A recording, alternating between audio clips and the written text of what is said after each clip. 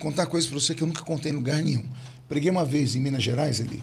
E foi o culto, foi uma glória, uma igreja muito ungida. Aí o pastor nos chamou, como é de costume, fez a mesa de jantar. E quando eu estou lá vendo aquele jantar, eu sou muito expansivo, né? Brinco muito. Eu olhei e senti falta da Coca-Cola. E quando estava todo mundo sentado, eu falei, pastor, cadê a Coca-Cola? Criou um clima na mesa. Eu senti um clima que as pessoas abaixaram a cabeça. E o pastor só deu uma olhadinha para um, para outro, foi saindo todo mundo da mesa. Saiu todo mundo daquele lugar. Ficou só eu e o pastor. Quando estávamos só nós dois, ele disse: Como você faz isso? Você vem pregar na minha igreja? Eu abro as portas para você e você vem pedir Coca-Cola. Aqui no nosso campo, eu proíbo Coca-Cola. Ele andava com uma tampinha, que era de latinha, a gente chamava, no interior de São Paulo, chamava bilinha. Ele tirou do bolso e me mostrou que tinha cafeína na Coca-Cola. E a cafeína viciava. E ele disse que por conta disso era pecado tomar Coca-Cola naquela igreja. Olha onde, olha o que eu vivi.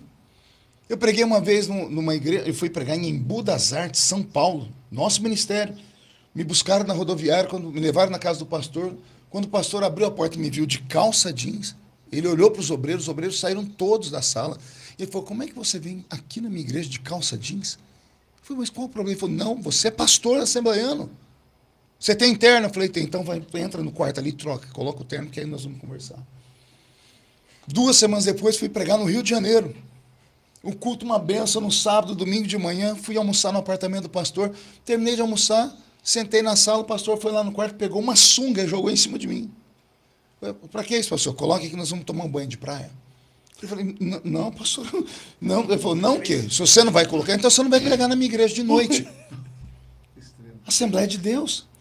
Então, na ausência de uma doutrina teológica verdadeira, na ausência de uma, de uma, é, de uma performance unificada da Assembleia de Deus, um padrão, o itinerante tinha que. A gente, a gente saía de casa com 10 tipos de roupa, 10 tipos de linguagem para saber o que fazer. Eu falei, Tradições isso, diferentes. Eu falei, né? isso é hipocrisia.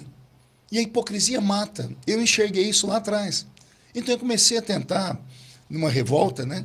Mostrar para os jovens que eles podiam ser diferentes. Falei, vai custar caro, vão fechar portas, mas outras vão se abrir. E eu arrisquei.